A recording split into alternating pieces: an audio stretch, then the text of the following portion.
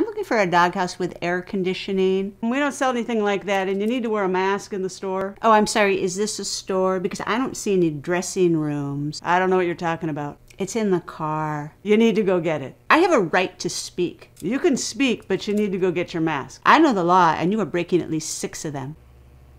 Oh, you think that's funny? Well, I'm recording you. Do you think that's funny? Look, ma'am, you need to wear a mask. If you don't want to wear a mask, you have to leave. What's your name and badge number? I don't have a badge, and I don't have a badge number. Oh, you don't have a badge? Then I guess you're not the police. No, ma'am, I'm not the police. I'm just telling you our store policy. I'm calling the police to report you.